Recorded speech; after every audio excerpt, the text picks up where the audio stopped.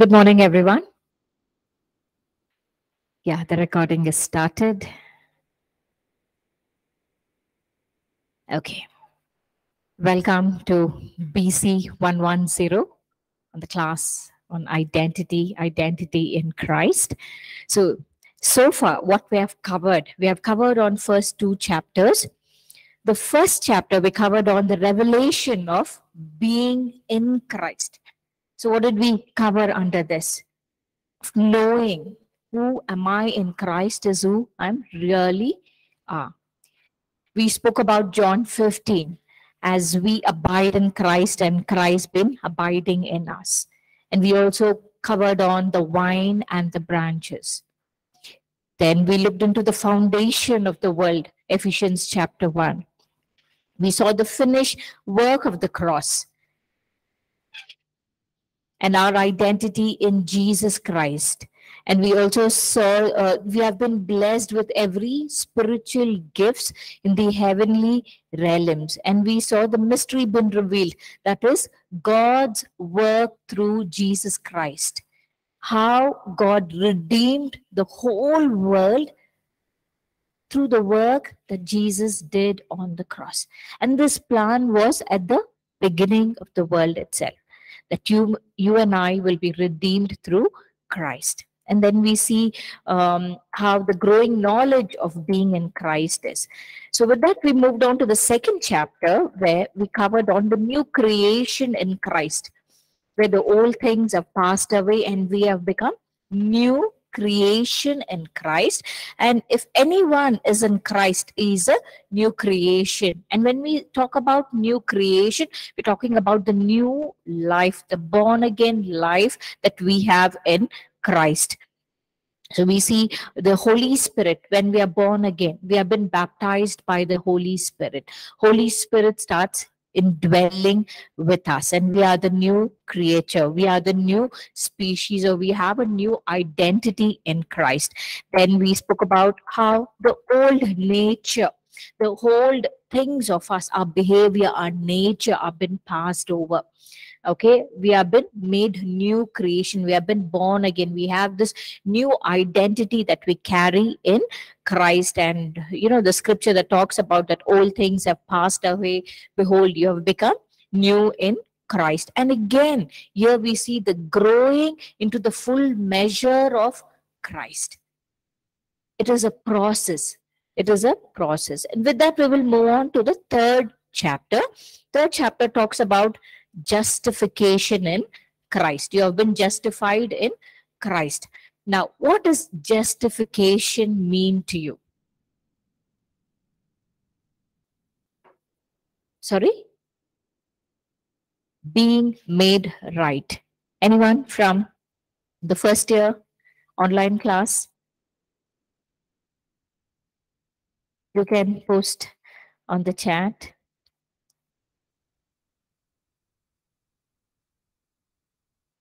Justification mean?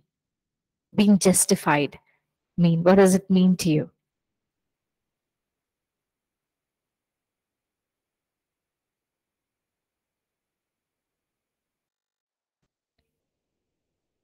Being made righteous, made perfect, standing before God as if one has not sinned. Thank you, Nina.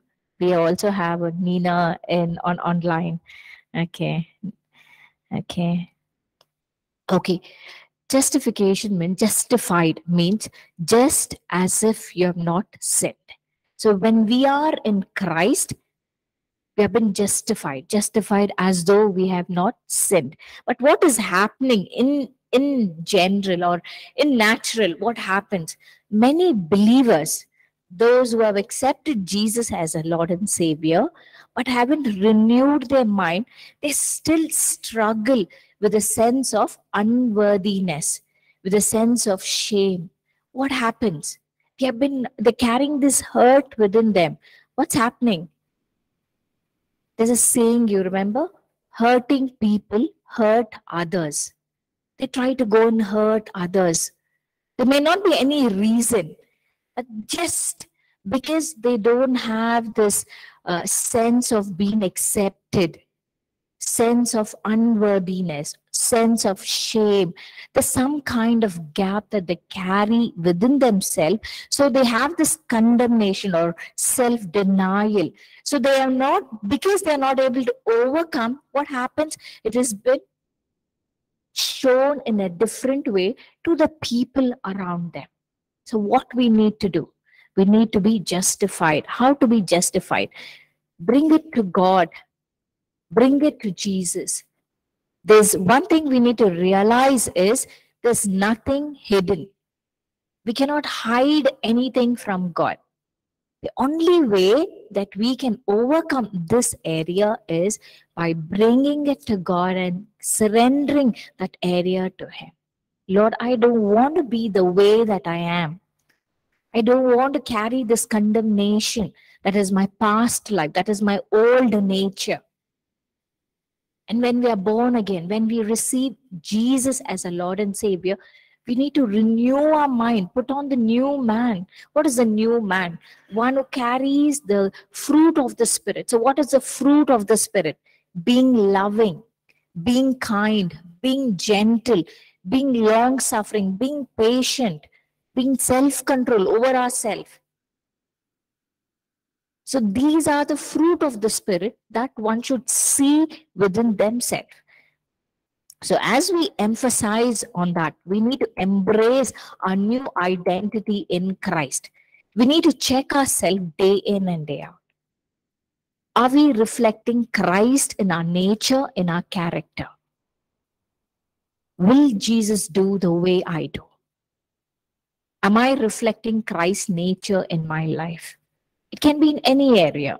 So, what happens? Ephesians chapter 1, verse 4 just as he chose us in him before the foundation of the world, that we should be holy and without blame before him in love.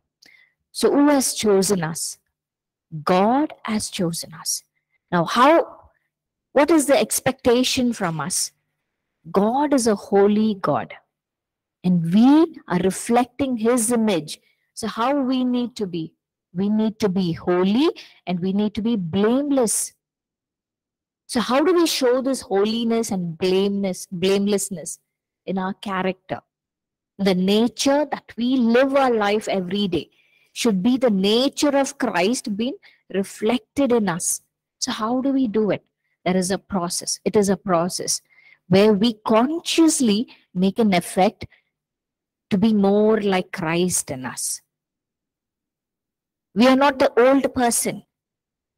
That old nature has passed away. We are a new being, new creation in Christ. So the word here, holy or being without blame, simply means faultless, being blameless, unblameable, or without blemish, without spot. Can I request you all to turn to Colossians chapter 1, verse 20 to 22. On our notes, we are on page 31.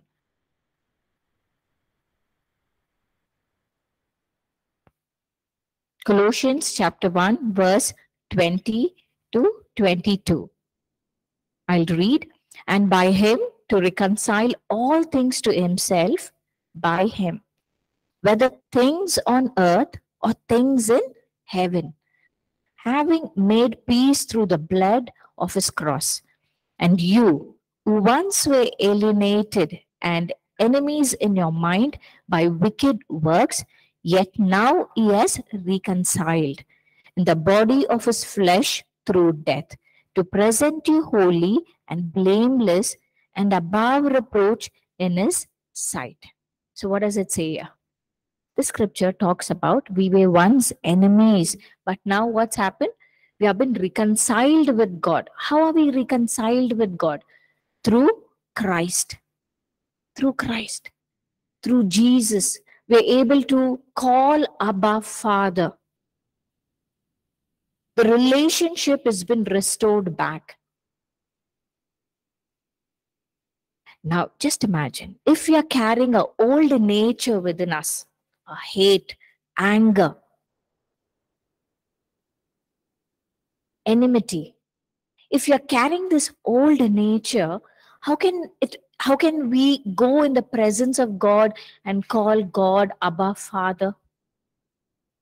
We are not pleasing to God in any way. So we need to correct ourselves. We need to come to a place where we say, Lord, change me. Change me inside out, that I may be a person of love. Person who loves everyone the same way. Because Christ love is not partial. God's love is not partial. He loves everyone the same way. He calls everyone by name and he says, You have been wonderfully and fearfully made, and I love you. And he also, cry, uh, the scripture says that you are the apple of my eyes. Each one, each one of you are very precious in his sight. And Jesus died for each one of us on the cross. Our sins have been forgiven. We have been justified in His, in Christ, we have been justified. So God looks at each one of us through Christ. That's how we have been justified.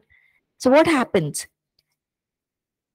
We need to embrace God, the finished work of Christ, and try to lead our life, which is holy, blameless in Christ Jesus.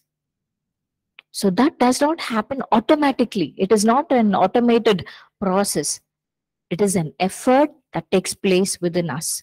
It's a decision that we make to lead a life pleasing to God. Am I pleasing God in my nature, in my words, in my actions, in my uh, in my behavior? Am I pleasing God? Am I showing Christ reflection in me? We need to check ourselves. And how does God view at us? When we turn to Ephesians chapter 1, verse 6. Ephesians chapter 1, verse 6. To the praise of the glory of his grace, by which he made us accepted in the beloved. Who is beloved here? Jesus is the beloved. So God has accepted us. God has accepted you and me in Christ. It literally means He made us accepted, means a special honor. We have been highly favored and we have been covered by His grace. We have been covered by His grace. We have the favor of God upon us when we lead a life pleasing to God, when we carry the identity of Christ upon us. So, class, can I request you all to just say this out loud? Just speak out, speak this over yourself, saying, Father, I thank you that in Christ I have been granted special honor and I'm highly favored and I'm covered by His grace, surrounded with favor, honored with blessings, an object of your grace. Thank you, Jesus. In Jesus' name, amen. So, this is what we need to claim ourselves every day. So when we are claiming, no one can understand ourselves better than us, isn't it? So it's okay. Even when we have done things wrong, we have not worked, or we have we are not our, our actions our words may not be pleasing god but again as i said it is a process you need to bring yourself to the presence of god and say lord these are the areas that i want to change bring it to God. One thing we need to remember is we cannot change ourselves by our own. It is by the grace of God. So, grace of God can work within us only when we acknowledge it. When we bring ourselves to God and say, God, these are the areas I'm struggling with. These are the areas I want to see myself change. I need your grace. I need your grace. I need your favor. And claim it over yourself, declare it over yourself every day, saying that I am highly favored by God.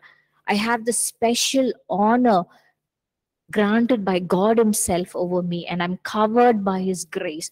Wherever I go, I see God's grace surrounds me. And as how God favors me, I favor people. As how God loves me, I love everyone around me. You know, there's a condition, right? Even even even in our Father, saying, God forgive me as I forgive others if we don't forgive others, and how can we expect God to forgive? If we don't love others, how can we ask God to love us? So we need to be very careful. It is an effort that we put in, it is a decision that we make to lead our life in Christ's likeness. Saying, God, I love you. And because I love you, I love my neighbors. That's one of the command, right? Jesus said, Love your neighbors as yourself. We need to be loving. Why? Because God is love and God is dwelling in us. We need to lead our life in the nature of God. So the beloved who's here is Jesus Christ is the son of his love. What do we read in John chapter 3 verse 16? God so loved the world that he gave his only begotten Son. The very nature of God is love. The very nature. God is love. And whatever God does is out of his love. He loves you and me so much that he gave his only begotten Son. Again, you see the nature of Jesus when he was as a human on earth. He was a man of love. He loved everyone. Matthew 14 14 says, Jesus moved with compassion. What is compassion? What is compassion? Charisma?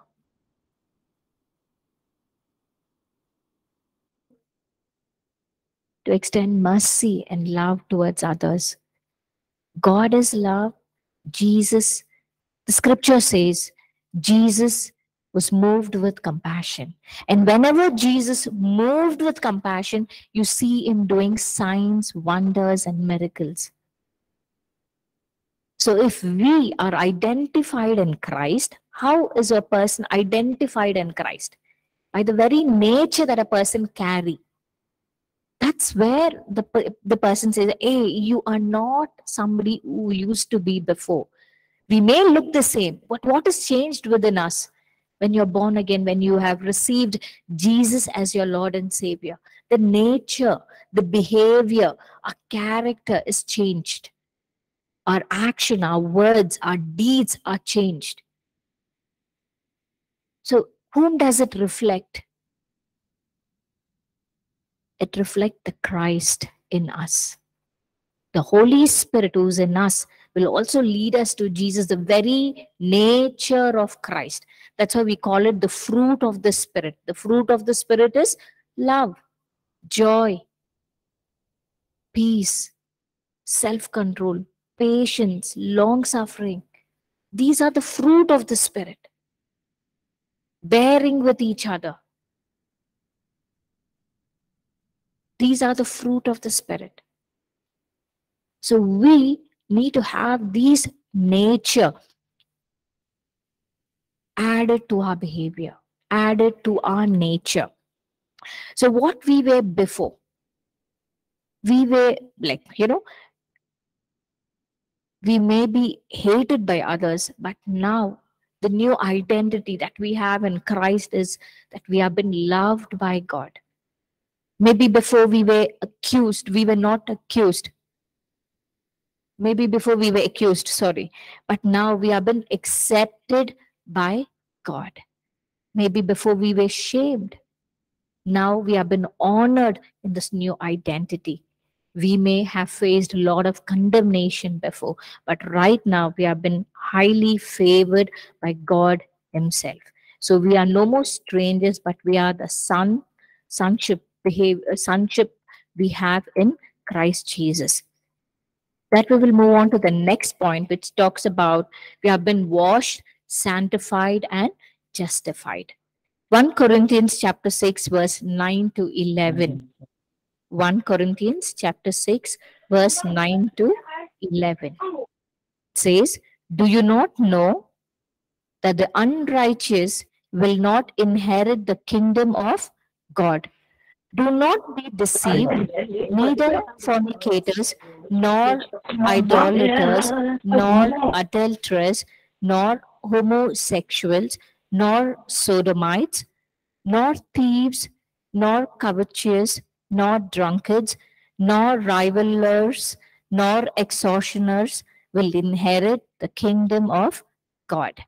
And such were some of you, but you were washed but you were washed, you were sanctified, but you were justified in the name of the Lord Jesus and by the Spirit of our God. In the scripture, we'll see our old nature. It clearly says these are the old nature, and these old nature has no power over our new being. They do not have any power why? Because we have been born again. We have been identified in Christ.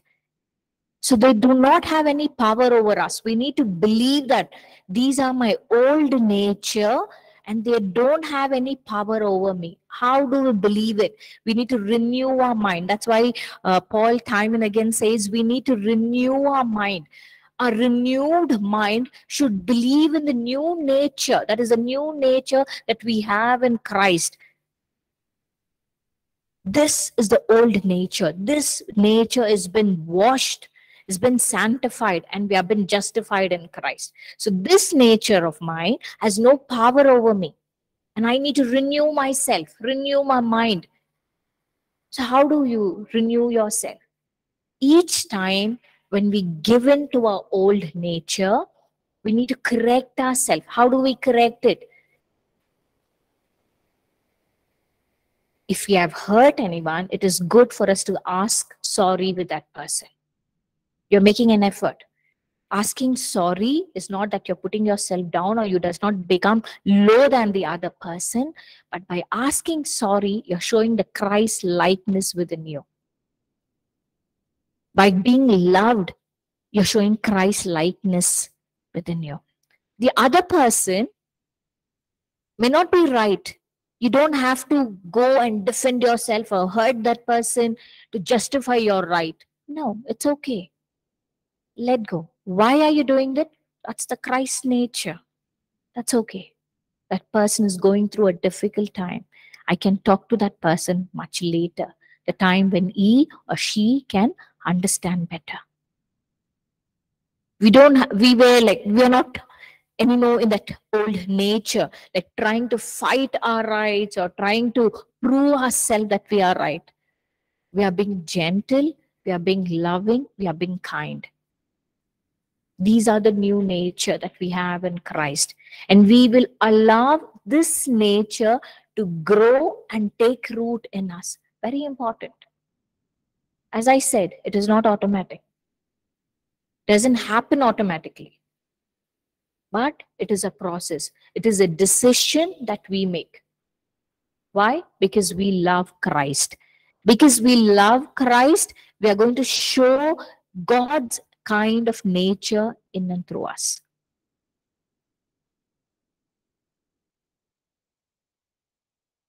We need to know that we've been washed, we have been sanctified.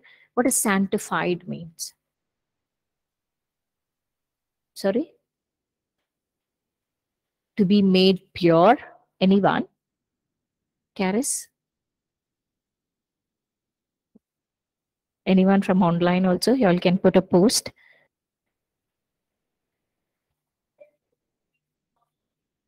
To be made holy, consecrated. Boys, very quiet in the class. What does sanctified means? We have Krisha say pure. Sanctified means set apart, set apart for God's use. You have been set apart. We have been set apart. We are different from others. We have been set apart. So we are sanctified for the use of God. We have been washed, washed from the old self by the blood of Christ. The old nature has no power over us. We have been set apart. We have been sanctified for the work of God. And we have been made righteous. We have a right standing with God through Jesus Christ. With that, we will move on to the next being made righteous of God. As I said, we...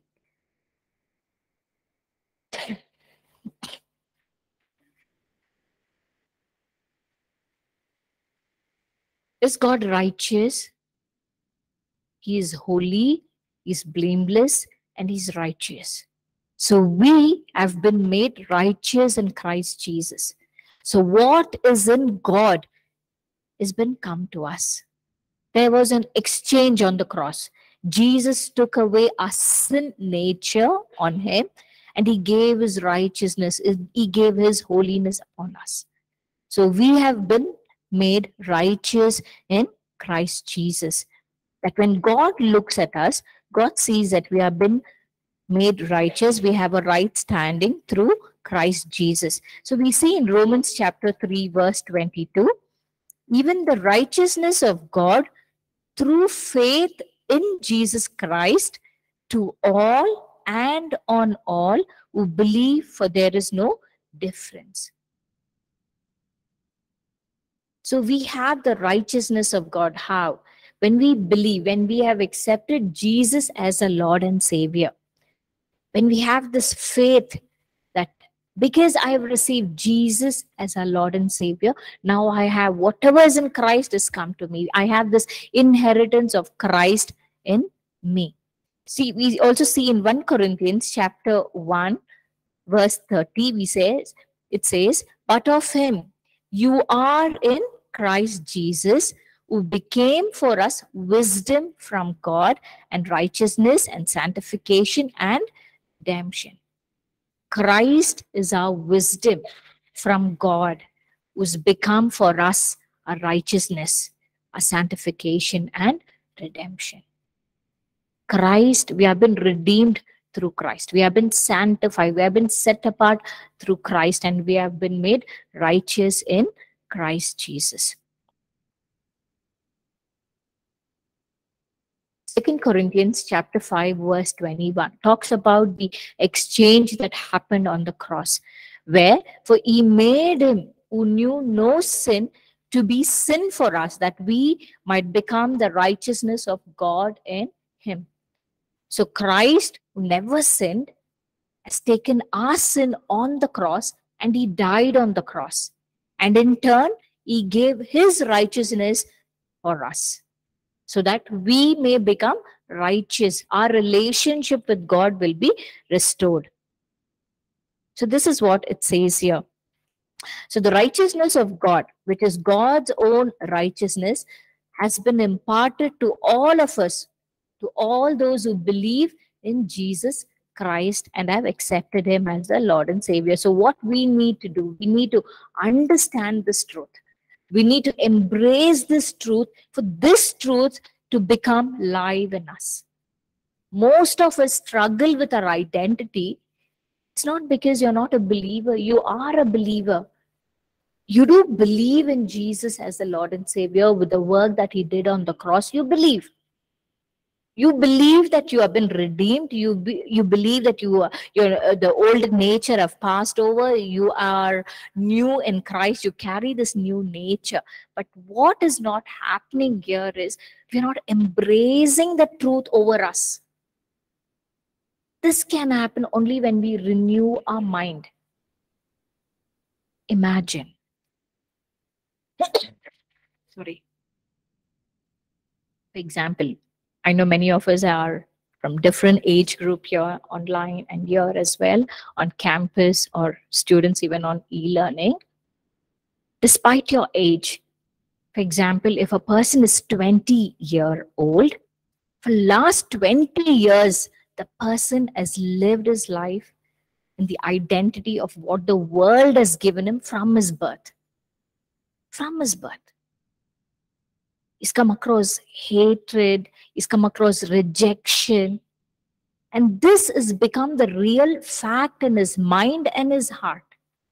Because he has been hurt from birth, he's been rejected from his birth, and he's seen a lot of failures and rejections in his life so as we said in the last class, what's in the bottle is what when you shake and when you pour it out comes out, right? So what is within you? Hatred, rejection, failures, no love, yearning for the human kind of love. Every man, every human yearns for love if somebody is showing out hatredness outside, it is not because they are hurt. No. There's a kind of love, there's a kind of vacuum that they have which is not filled. And because of that, that person goes around yearning for that around people. And when they don't get that, what's in? Hatred comes out, rejection comes out, failure comes out so the every reaction of a person is nothing but what they have gone through in their life. So now how they can overcome all this? Is it possible? Yes, it is possible. Through Christ. Through Christ, it is possible.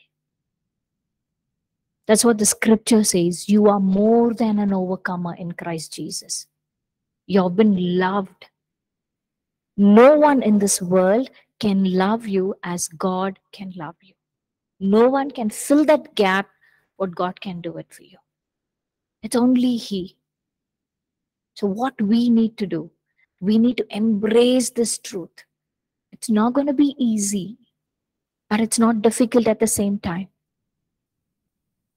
There's no man or no human on this earth have overcome their life just like that the minute they receive Jesus as the Lord and Savior. But they've gone through the process. They have decided the old nature has no power over them. They've embraced to this new nature. They've made the choice to lead a life that is loving. They've made a choice to get the fruit of the Spirit to be the nature of their own. They've embraced it. And that's how you can overcome. That's how you can lead a life that is pleasing God. So, the only way that we can lead a new life identified in Christ is by embracing the truth that the scripture says. The enemy may bombard you with the lies of this world, but then you go with what the word of God says. You're loved, you're an overcomer, you can lead a new life. Your sins have been forgiven. There is no more gap within you. You have been loved by the Most High God. You don't have to search for that love through any man, any human. You have been identified in Christ. You have a new identity. Your identity is not on the position that you carry. No, it's in Christ what we have. So when we have these things set right, you see yourself flow in the nature of God, in the fruit of the Spirit. So we have been justified, been made righteous through faith. Sorry. What happens when we lead our life that is pleasing God? What happens? We are exercising the faith that we have. We're exercising the right that we have with god. You know being loving is the birthright that we have. The nature of god is our birthright because now you are the child of god. So we need to behave as a child of god. So we have this access that is faith access of faith, God kind of faith in us. And we stand in the place of grace before God. And we are full of joy because of God, because of the work that Jesus did on the cross. Now we have a hope in our life, which was not there before, has become now into us.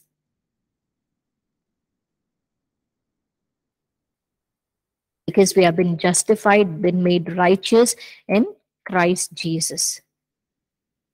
So in Romans chapter 5, verse 9, Romans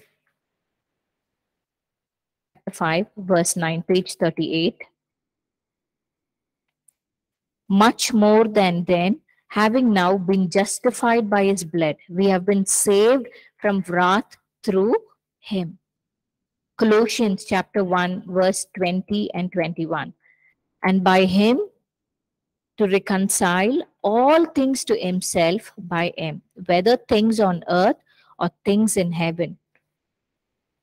Having made peace through the blood of his cross, and you who once were alienated and enemies in your mind by wicked works, yet now he has reconciled despite our old nature, we have been reconciled to God through the work that Jesus did on the cross. Jesus died on the cross. Jesus has paid a price, his own blood. He has paid a price to redeem you and me. There's a cost involved to redeem us from that old nature. We need to know that. We need to understand. We need to, we need to we need to understand that Jesus died on the cross. He shed his complete blood on the cross to redeem you and me. We have been redeemed. We need to get this revelation that the work on the cross was done to redeem you and me. He has redeemed us from the clutches of the enemy. So when he has redeemed us from the enemy's hand, our nature should not be reflecting any way of his kind. Our nature should reflect God. Because we have been redeemed. We have been accepted by Christ. And and you know we have the holy spirit living in us. We have god living in us. So if god is living in us our nature should reflect the god kind of nature. Love, the fruit of the Spirit in us. So we have some of the practical implication of being justified and being made righteous here. We have listed them out here. That knowing and understanding. These are the certain things that we should know and understand that there is no condemnation against us. And so we live free from any sense of guilt, shame, accusation or condemnation. We are on page 38. So there is no more condemnation that we have because we are in Christ. We have a boldness now. We have a boldness to enter into God's presence. How? As a child of God. We have a fellowship that we can have with God now.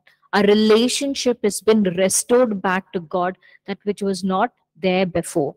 We reign in life and we have dominion over our life situation. Why? Because we have been brought out from the sickness, from the sin, from that old nature. And we can confront Satan. We confront Satan as king and master over him and his demons, and that has no power over us because we have Christ in us who is much greater. That's what the scripture says. Greater is he who's greater. Greater is he who's in us than the one who's in the world. We have the greater God who's living in us. So Satan has no power over us, and we need to embrace that truth. We should be more careful in the fellowship that we have with people be very careful because this will affect our mind and our heart. So there is no condemnation in Christ. Romans chapter 8 verse 1 says, there is no more, there is therefore now no condemnation to those who are in Christ Jesus, who do not walk according to the flesh, but according to the Spirit. So what a joy it is for us to know that there is no condemnation over us. When we live a life in Christ, we have been accepted. We have this new life. So to freely embrace it. We need to embrace this life in Christ and demonstrate that life in Christ in and through us over others. How?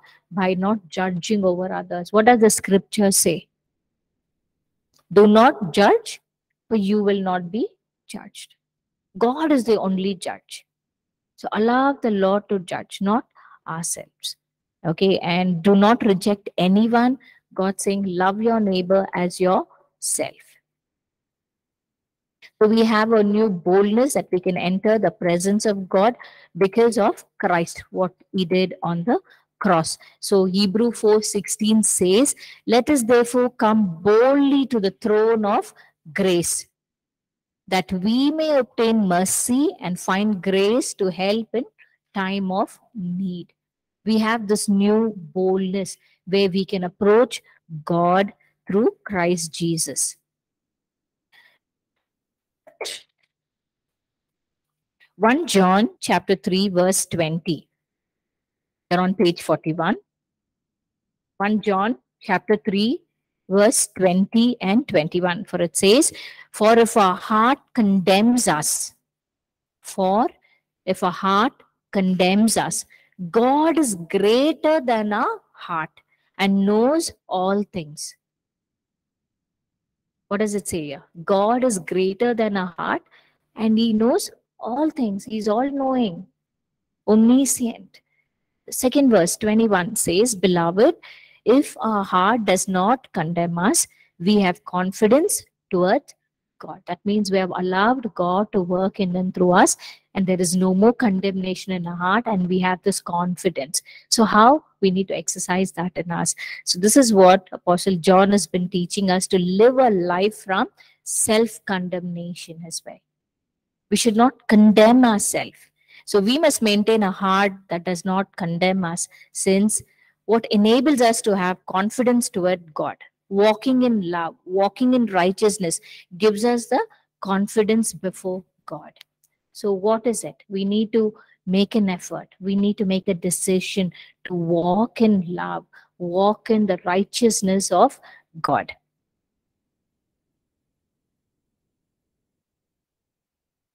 Hebrew chapter 10, verse 19 to 22 says, Therefore, brethren, having boldness to enter the holiest by the blood of Jesus, by a new and living way, which he consecrated for us through the veil, that is, his flesh, and having a high priest over the house of God, let us draw near with a pure heart, true heart, in full assurance of God having a heart sprinkled from all evil conscience and our bodies washed with pure water.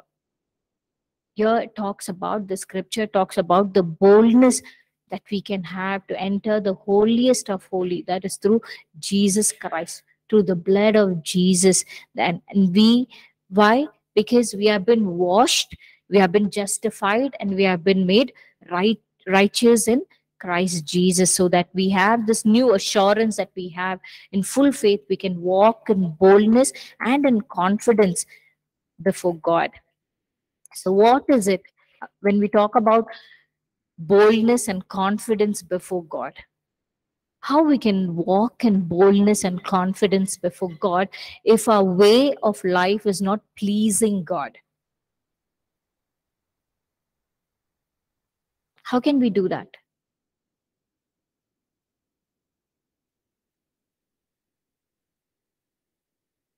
the scripture says, one who walks in the fear of the Lord can walk in confidence.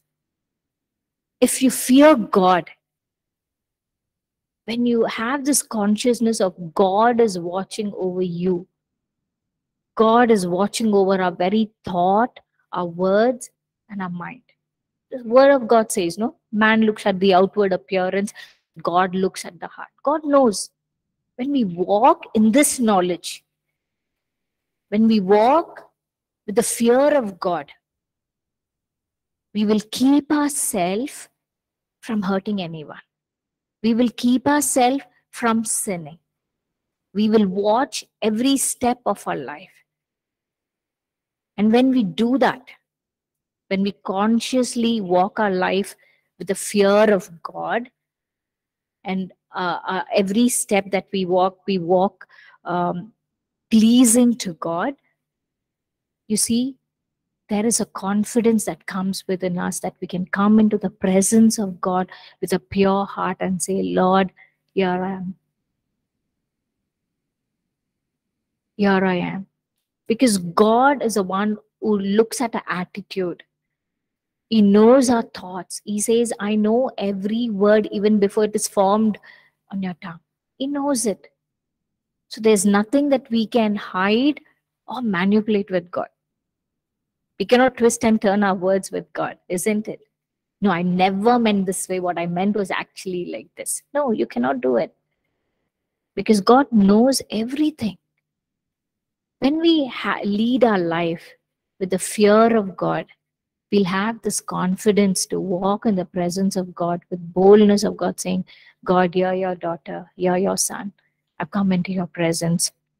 Accept me as I am that we can reign in life because of the gift of righteousness that Jesus did on the cross, so that we may not be offended, but then lead a life that is pleasing to God. And yes, the armor of righteousness has been made available. As we see in Ephesians 6 13 to 14, we see that the whole armor of God we have the access to. The whole armor of God that we can withstand the evil day or withstand the enemy, the wails of the enemy. And also in Second Corinthians 6 7, we see by the word of truth, by the power of God, by the armor of righteousness on the right hand and on the left. So, this is a spiritual armor that has been spoken here. We have this armor of God available to us to withstand the dynamic forces or the enemy's plan. And when we have this armor of God, we know that we have this right standing with God. How? When we fellowship with God with righteousness, we have our right. We know that we are the child of God. We have a birthright in God. And with that, we have been justified. We have been made righteous. So, that I end the session. Before we could end the session, let's declare this over ourselves. Let's believe the truth. Let's embrace this truth saying that i've been justified with god. I have a right standing with god and i need to embrace this truth to lead a life that is pleasing to god. Okay? So with that let's declare it over ourselves. God justified and made me righteous freely by his grace and because of Christ's work on the cross. This qualifies me to live a joyful life without any sense of condemnation, where I can have a fellowship with God